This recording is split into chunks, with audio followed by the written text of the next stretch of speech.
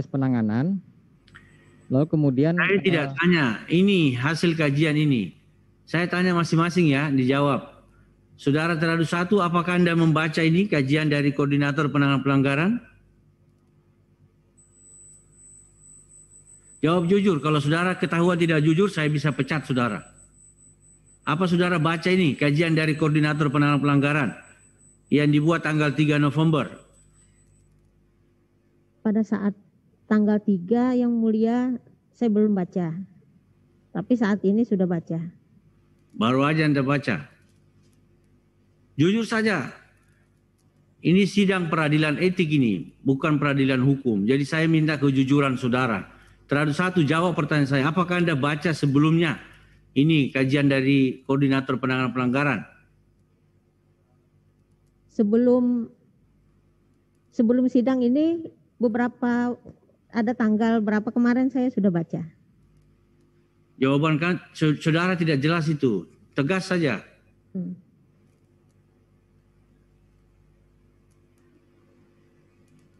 Dibaca tidak kajiannya koordinator penanganan pelanggaran ini yang tertanggal 3 November. Saat ini iya, Sebelumnya belum. belum. Teradu dua, Belum yang mulia. teradu tiga, Belum yang mulia. teradu lima,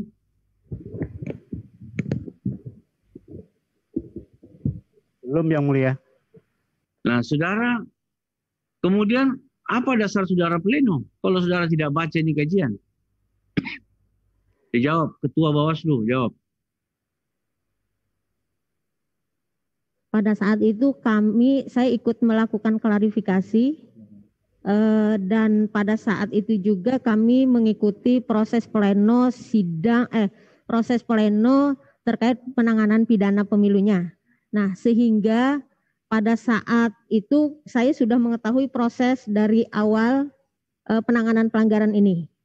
Karena mengetahui berdasarkan dengan catatan-catatan yang saya punya, walaupun kajian ini belum selesai pada saat itu, karena waktu kami harus menyelesaikan pleno malam itu. Nah, berdasarkan catatan-catatan yang kami miliki dan berdasarkan eh, karena beriringan antara penanganan pelanggaran pidana dengan penanganan pelanggaran administrasi ini beriringan, kami selesaikan pleno terkait penanganan pelanggaran pidana dulu.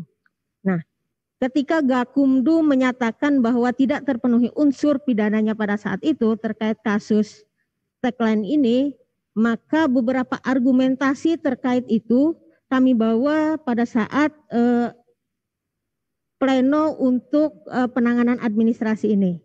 Jadi ada beberapa argumen kami ada di berita acara pleno pada saat itu terkait alasan untuk menghentikan atau meneruskan eh, kasus eh, 02 ini. Nah, jadi itu yang menjadi dasar pada saat itu untuk eh, kami melaksanakan pleno. Sehingga karena dari awal saya juga mengikuti proses penanganan kasus eh, tagline ini eh, dalam dalam prosesnya walaupun kajian yang baru disampaikan yang tertanggal 3 November itu pada saat itu tidak kami pegang karena penanganan pelanggaran itu kan tiga hari plus dua sedangkan saat itu kami menangani kasus pidana dan juga menangani kasus administrasi dan pleno harus diselesaikan malam itu.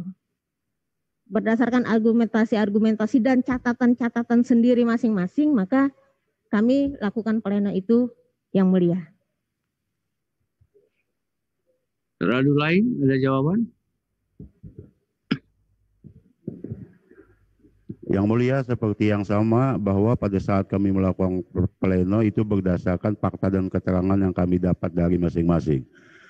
Eh, surat yang dibuat eh, apa namanya apa namanya itu kajian itu itu kami ketahui dua empat lima hari belakangan ini saja kedua majelis. Ya. Teradu lain? Ya, yang mulia, bahwa sebelum kita pleno kita ada gelar perkara mengupas fakta keterangan yang diperoleh, kemudian masing-masing memberikan pendapat. Eh, untuk kajian memang dibikin oleh Kordip. Tapi kami pembahasannya berdasarkan hasil fakta dan keterangan yang diperoleh dari perkara yang ditangani. Itu yang mulia. Terlalu lain selain terhadap koordinator penanganan pelanggaran? Ya, izin yang mulia bahwa pada pleno eh, disebutkan bahwa eh, pada tanggal 3 November 2020 eh, kami memang belum sempat mendapatkan eh, salinan formulir apa kajian tersebut. Jadi kita pleno berdasarkan keterangan waktu eh, dari penanganan pelanggaran. Fakta-fakta yang eh, diterangkan. Terima kasih. Bagaimana bisa Anda memutus nasib ya orang laporan itu tanpa membaca kajian? Kepada empat orang ini ya. Ini Anda ini bagaimana ini? Anda percaya saja laporan dari koordinator penanganan pelanggaran. Tidak perlu membaca home A1 A11 kajian ini. Jadi kalau dilaporkan di pleno seperti itu bahwa tidak memenuhi unsur kemudian diterima tanpa melihat kajian. Bagaimana cara kerja saudara ini? Kepada ketua dulu.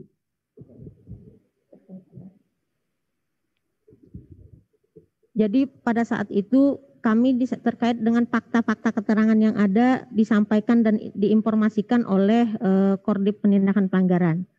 Nah, setelah dipaparkan, disampaikan, maka masing-masing punya catatan sendiri. Lalu kami melakukan pleno terkait hal itu. Anda pleno dengan form hasil kajian ini atau pleno dulu baru buat kajian?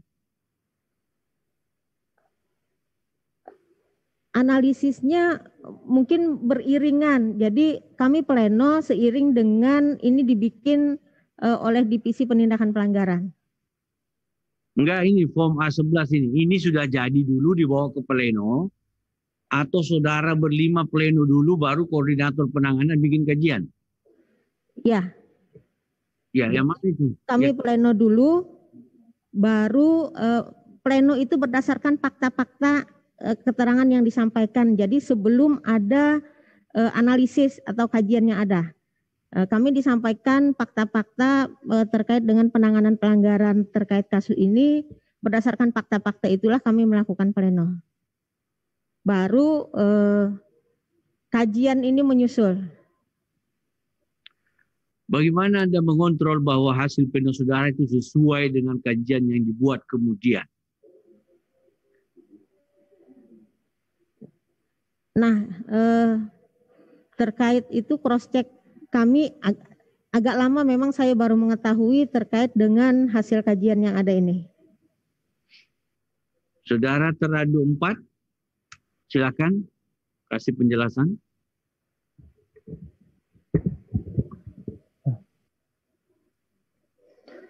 Uh, terima kasih yang mulia bahwa memang ada proses penanganan pidana dan administratif uh, ya pada saat itu. Uh, lalu kemudian uh, Gakumdu menyatakan bahwa tidak terpenuhi unsur.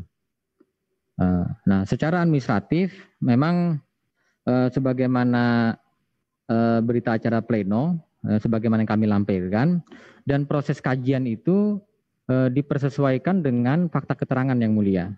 Mungkin ada hal-hal yang kemudian pandangan-pandangan Bawaslu pada saat itu yang kemudian tidak terpenuhi unsur. Jadi kajian itu di awal dengan analisis, lalu kemudian kajian itu koordinat penanganan pelanggaran bawa ke ke pleno. Jadi fakta keterangan diekspos kepada seluruh uh, komisioner Bawaslu uh, Provinsi Kalimantan Selatan, lalu kemudian uh, uh, hasil dari pleno itu disimpulkan dalam hasil kajian yang disebut dengan kesimpulan yang mulia. Dan Bawaslu Provinsi Kalimantan Selatan menyimpulkan bahwa uh, tidak terpenuhi unsur. Nah, lalu kemudian rekomendasi kami uh, kami hentikan yang mulia.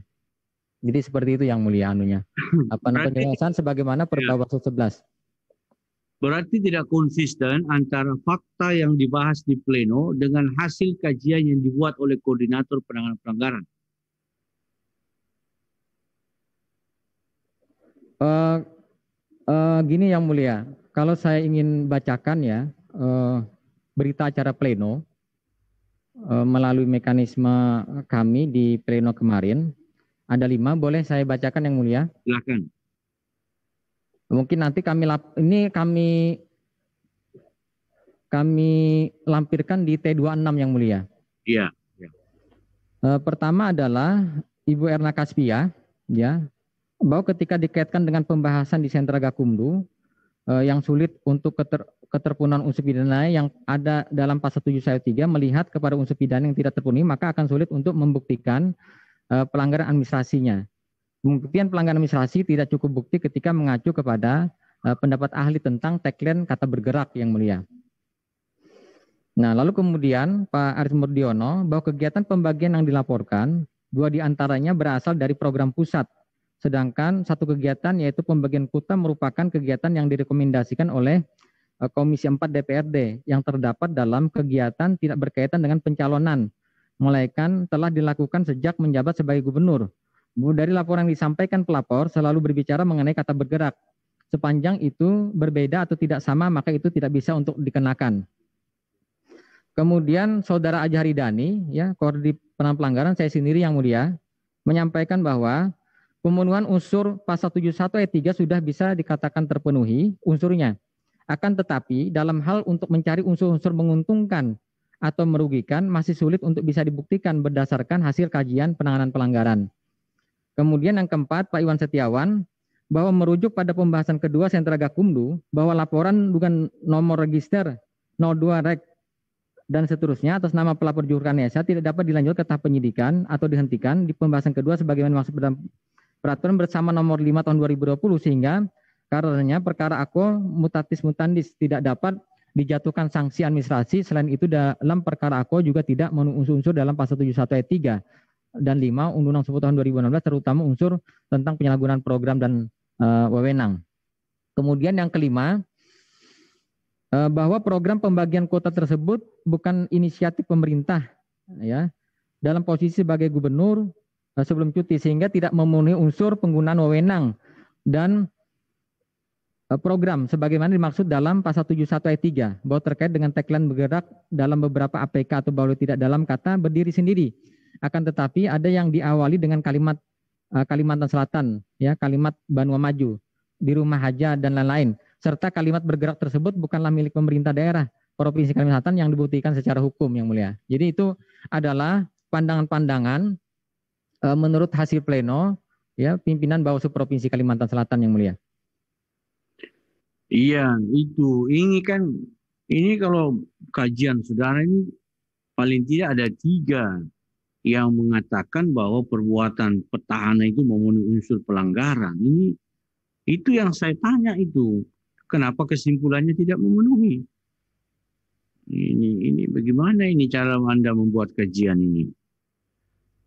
Ini terus anggota yang lain tidak baca lagi ikut-ikut menyetujui ya. Ini problem ini ini Anda hati-hati ini menjadi penyelenggara ini. Harus Anda kuasai itu jangan main tanda tangan main setuju saja. Walaupun koordinator penanganan pelanggaran buat kajian, Anda juga berempat harus baca itu yang dibuat. Apalagi Anda tambah keliru lagi kalau mengatakan dibuat oleh apa tadi? Tim Pogja. Aduh. Gak boleh. Kalau kalau gitu Anda mundur saja jadi komisioner kalau mengandalkan uh, kajian itu dibuat Pogja. Pogja yang buat, saya tanda tangan, saya sebagai koordinator, itu kalimat tidak pantas itu Anda sampaikan. Anda ini disumpah sebagai komisioner. Kalau Anda mau main, main lempar begitu, ya mundur saja sebagai komisioner. Suruh staf Anda jadi komisioner. Jadi jangan ada kalimat-kalimat melempar uh, problem kepada staf. Ada Pokja tadi, saudara teradumpan uh, mengatakan ini dibuat oleh Pokja. Disusun oleh Pokja. Lalu saya selaku koordinator tanda tangan. Empatnya juga sudah mengakui tidak membaca. Baru hari ini dia baca. Ini hati-hati loh ini Anda ini jadi penyelenggara ini tidak main-main, sumpah gitu. Baik, nanti kami menilai fakta-fakta ini ya. Kalau ada keterangan tambahan saudara nanti saudara sampaikan. Saya persilakan yang mulia Pak Edi uh, Ariansah MSI. Baik, terima kasih Yang Mulia Ketua Majelis Profesor Dr. Muhammad SIP Messi.